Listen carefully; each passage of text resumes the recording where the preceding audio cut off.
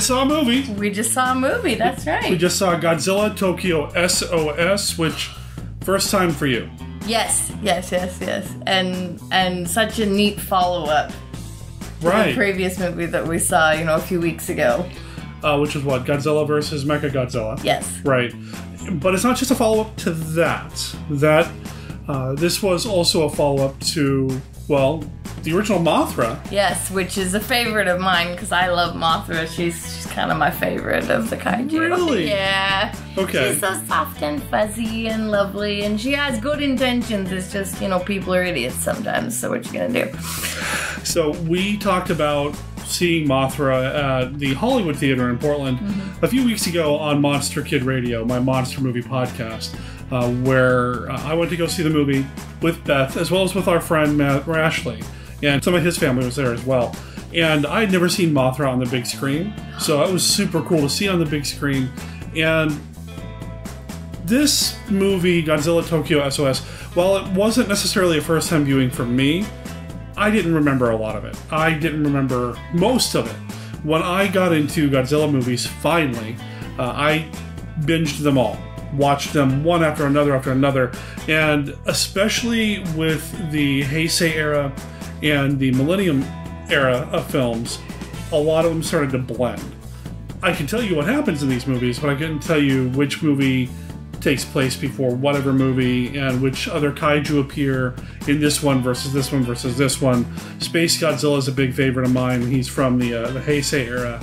I really like Space Godzilla. Biolante's pretty darn cool too. But the Millennium ones, especially, they all start to blend. And I think it's because the continuity isn't as strong mm-hmm. as you have in the Showa or the Heisei era films. I'm expecting that most of this is like for you. No, I mean we've talked a little bit about the different eras Okay. and stuff, so I'm, I'm getting, I'm following generally along. Okay.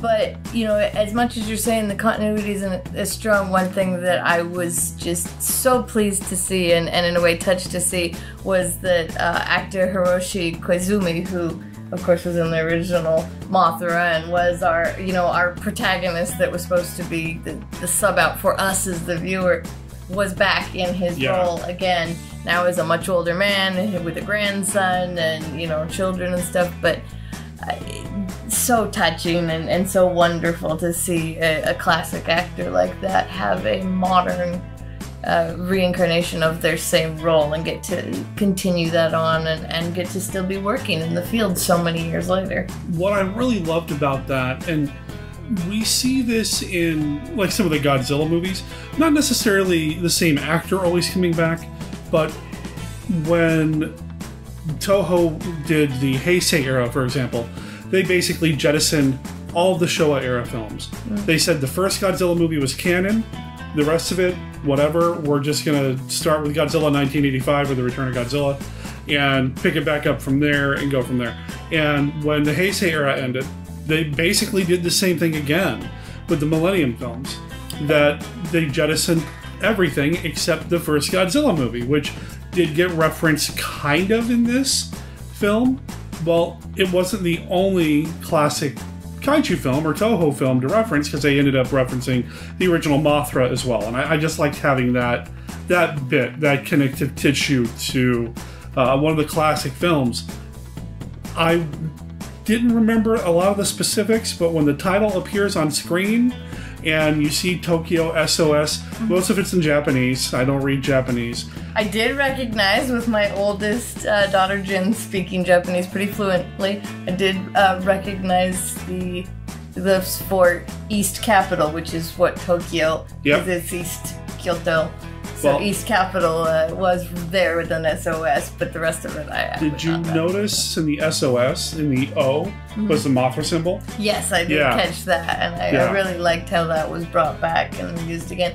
And I really enjoyed the Grand Peanuts, and that's what I'm calling them. I'm calling them the Grand Peanuts, and the, the peanuts themselves were one of my favorite parts of Mothra, and because of my daughter and, and her learning about Japanese culture and a lot of that, and and a exchange student friend that I'd had in high school, um, I I knew of The peanuts. them as a group separate from the movie, and so it was neat to have like Grand Peanuts representing that, you know, in, in this one. It is barely touched on that they're not the same fairies from Mothra. Right.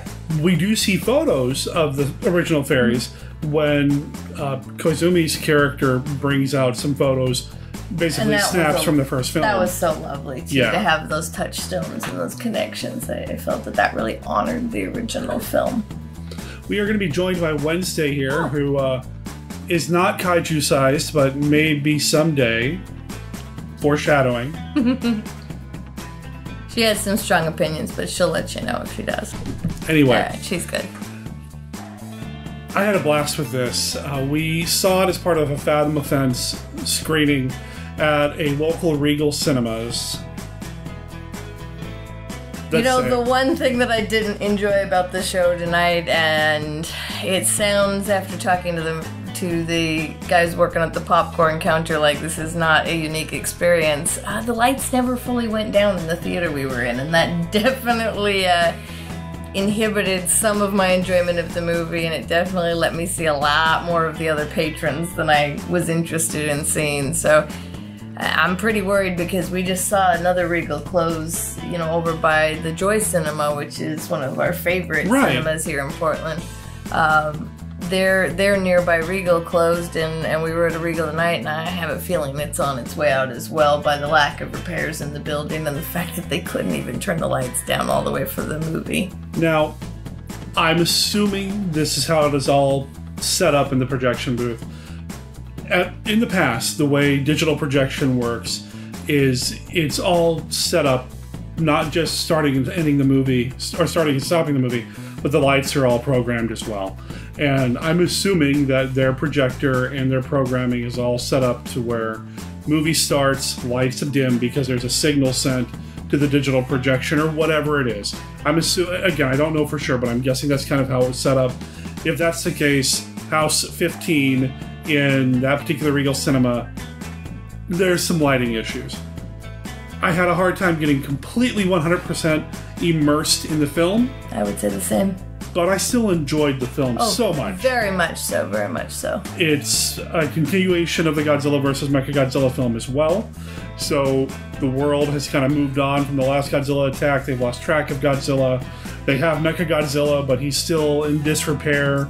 They need some big diamond to get that absolute zero weapon up and running, and they never really quite get there.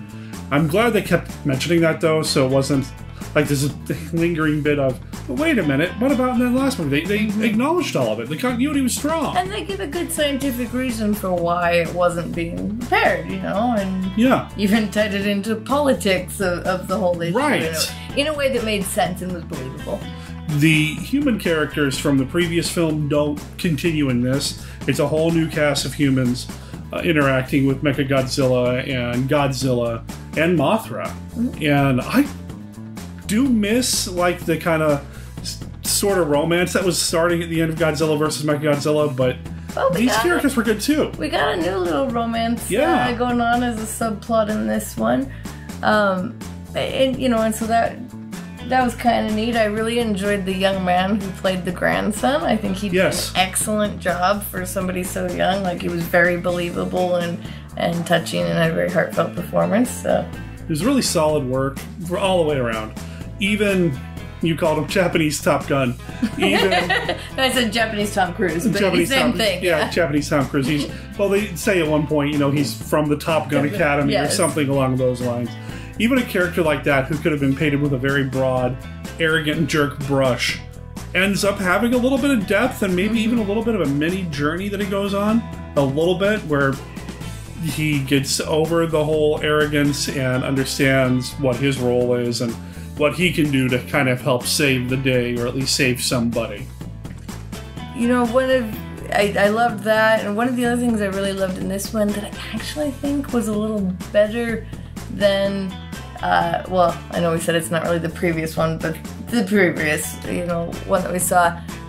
The scenery was even better in this one. Yeah? At one point, they go out into kind of the countryside and and the grandfather's villa and stuff, and they see all that, and it was this just gorgeous traditional log cabin type house. Everything inside was very traditional Japanese, and and you could see a lot of uh, the different cultural aspects that fed into that. And I felt like a lot of the other interior sets at you know military or not military, but defense force Right. headquarters uh, were more detailed and had were more fleshed out and had just further extensions. They weren't as tight of shots in a lot of ways. You got a lot more. You got more side characters, things like that. And I, I really appreciated that that level of detail and that level of work in this in this film.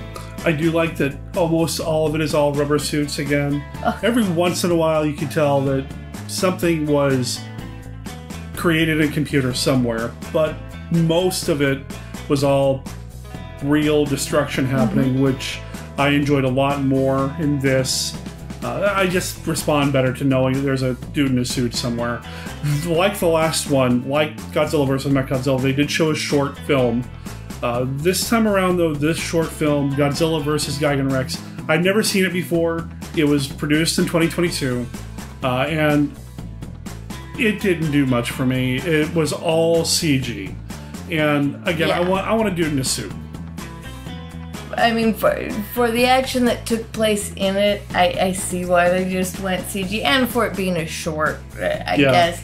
But I think you could have done a similarly good job with just a some slight alterations in plot, and done it with guys in suits, and, Right. and had it be much more intense and and feel a lot more real. Well, the last one had a short film, and it was dudes in suits. Mm-hmm. It just looks better. It feels better. It feels right for the franchise. Yeah, it feels more appropriate. And I, I know Legendary's Godzilla movies, they're 100% CGI at this point, and that works for them. But for a classic Toho romp, and I say classic for a movie that came out in 2003, for a classic Toho romp, I want a dude in a suit.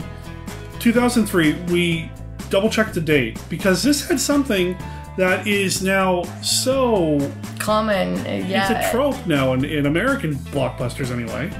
The post-credit sequence. Exactly. In fact, when when the credits started and a bunch of people just started getting up to leave, my brain automatically went, ah, I hate it when people do that. Like, have they not been to a movie in the last 15, 20 years or whatever? But then I thought about it for a second. I went, oh, wait, this is an old movie. But then there was a Yeah. post credit uh, sequence, and uh, which hints at more destruction to come. I need to take a look at the filmography of Godzilla. I don't remember if the next one the Toho released continues this storyline or if this just was kind of like the end of it. But yeah, for a movie that came out five years before Iron Man, and I know Iron Man is not the first movie to do a post-credit sequence. I was telling you in the car the first time I became aware of that was uh, with Lethal Weapon 3, which came out in the 90s. It used to be uh, a joke, actually, with me and my friends. We'd go to movies, and we'd stay through the end credits. And it was always, well, we want to see all the people who graduated film school. You know, th- those are all the film school graduates at the end. Now it's everybody who works in every overseas VFX house. But, you know, uh, I, yeah, post credit sequence, and as I, I had forgotten about this, as they're showing what the images are on the screen, and they're kind of telling us what the various text means. It's like, oh no, nobody learned their lesson.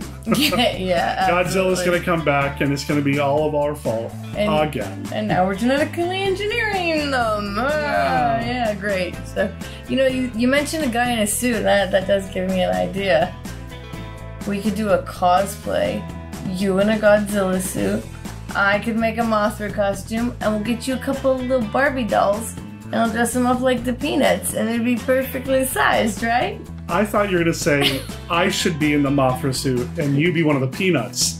Because you're fun size, and I'm a giant dude. Wow.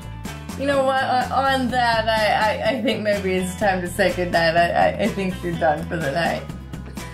You could do the song. Mothra. Mothra! That one? Sure. Yeah, absolutely. Well, for Derek and Beth, Team Deth, uh, this has been Team Deth Goes to the Movies. We went to the movies. We went to the movies.